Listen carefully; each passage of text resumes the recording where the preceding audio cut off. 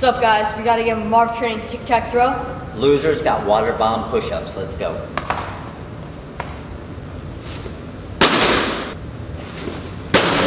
Let's go! Let's go! Can't miss this. I gotta go middle middle for the dub. Let's go! This guy right here is gonna water balloons.